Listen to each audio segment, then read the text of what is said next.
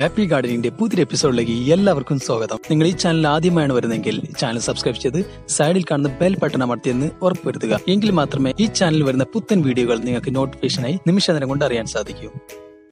നമ്മുടെ വീടുകൾ നമുക്ക് സ്ഥിരമായിട്ട് ഉപദ്രവം ചെയ്തുകൊണ്ടിരിക്കുന്ന ഒരു പുഴുവാണ്. നമ്മുടെ ചൊറിയും പുഴു അല്ലെങ്കിൽ കമ്പിളിപ്പുഴു നമ്മുടെ ചെടികളും പച്ചക്കറികളും ഒക്കെ തിന്ന് നശിപ്പിക്കും. നമുക്ക് ചൊറിച്ചിലും അലർജി ഉണ്ടാക്കാനും ഏറെ കാരണമാകുന്ന ഒരു പുഴുവാണ് നമ്മുടെ ചൊറിയും പുഴു. അപ്പോൾ എല്ലാവരും ചോദിക്കും ഈ ചൊറിയൻ പുഴുവിനെ എങ്ങനെ നമുക്ക് നമ്മുടെ വീട്ടുകളിൽ നിന്ന് അകറ്റി നിർത്താം? അല്ലെങ്കിൽ നമ്മുടെ തോട്ടത്തിൽ നിന്ന് എങ്ങനെ അകറ്റി നിർത്താം എന്നൊക്കെ ഒരുപാട് പേര് ചോദിക്കാറുണ്ട്. അപ്പോൾ അതിനെക്കുറിച്ചുള്ള ഒരു വീഡിയോ ആണിത്. അപ്പോൾ നമുക്ക് വീഡിയോയിലേക്ക് കിടക്കാം. പിന്നെ നിശാശലഭങ്ങളുടെ ലാർവയാണ് ശരിക്കും പറഞ്ഞാൽ നമ്മുടെ ഈ ചൊറിയൻ പുഴു അപ്പോൾ ഈ രാത്രിയിൽ പറന്ന് നടക്കുന്ന ചില ശലഭങ്ങളുണ്ടല്ലോ കറുത്ത നിറത്തിൽ അതായത് പ്രത്യേകിച്ച് ആകർഷണമൊന്നും ഇല്ലാത്ത ഇനം ശലഭങ്ങളുണ്ടല്ലോ വെളിച്ചത്തിന് നേരൊക്കെ വന്ന് ഇങ്ങനെ പാറി പറന്ന് നടക്കുന്ന അത്തരം ശലഭങ്ങളുടെ പുഴുവാണ് ശരിക്കും പറഞ്ഞാൽ നമ്മുടെ ഈ ചൊറിയൻ പുഴുക്കളെല്ലാം. അപ്പോൾ നിശാശലഭങ്ങൾ ശരിക്കും പറഞ്ഞാൽ എല്ലാ മരങ്ങളുടെ ഇലകളിൽ പോയിട്ട് ഇപ്പം മുട്ടയിടില്ല മുട്ട വിരിഞ്ഞു വരുന്ന ലാർവകൾക്ക് ഭക്ഷണമാക്കാൻ പറ്റിയ ഇലകളുള്ള ഒരു പ്രത്യേക മരത്തിൽ മാത്രമേ ഇത്തരം ശലഭങ്ങളൊക്കെ മുട്ടയിടൂ. ആ ഒരു മരം നമ്മുടെ വീടുകളിൽ ഉണ്ടെങ്കിലാണ് ഈ ഒരു പുഴുവിന്റെ ആക്രമണം കൂടുതലായിട്ട് നമ്മുടെ വീടുകളിലേക്ക് കാണപ്പെടുക. ഉദാഹരണത്തിന് മുരുക്ക് മരം. മുരുക്ക് മരത്തിന്റെ ചില ഇനം നിശാശലഭങ്ങളുടെ ലാർവകളുടെ ഇഷ്ടഭക്ഷണമാണ്.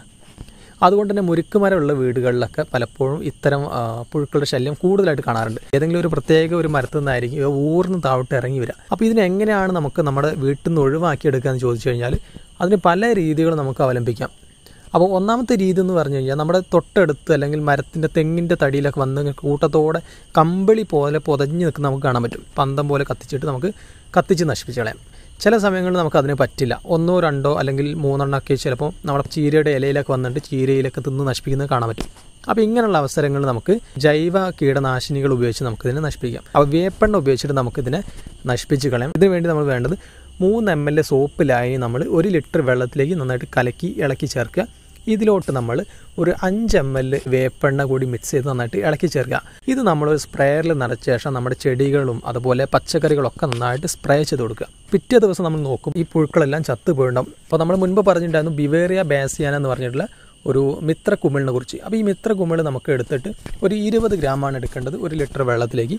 ഇരുപത് ഗ്രാം ഒരു ലിറ്റർ വെള്ളത്തിൽ കലക്കിയ ശേഷം ഏത് മരത്തിലാണോ ചൊറിയും പുഴ ഏറ്റവും കൂടുതൽ വന്നിട്ടുണ്ടായിരുന്നത് ആ മരത്തിലെല്ലാം നന്നായിട്ട് ഇത് സ്പ്രേ ചെയ്ത് കൊടുക്കുക. മഴയും അതുപോലെ വെയിലൊക്കെ ഉള്ള ഒരുമിച്ച് വരുന്ന സീസണിലാണ് സാധാരണ കൂടുതലായിട്ട് വരുന്നത്. അപ്പോൾ ആ സീസൺ അവസാനിക്കുന്നവരെ ഏകദേശം ഇരുപത് ദിവസം ഗ്യാപ്പ് ഇട്ടിട്ട് നമ്മൾ എപ്പോഴും സ്പ്രേ ചെയ്തുകൊണ്ടിരിക്കുക.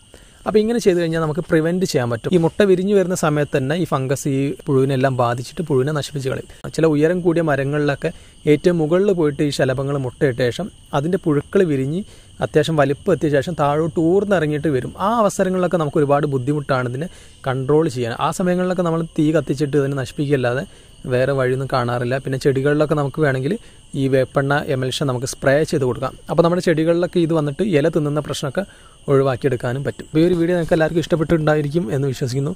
അപ്പോൾ നാളെ മറ്റൊരു വിഷയമായിട്ട് വരാം. അപ്പോൾ അതുവരെ ബായ്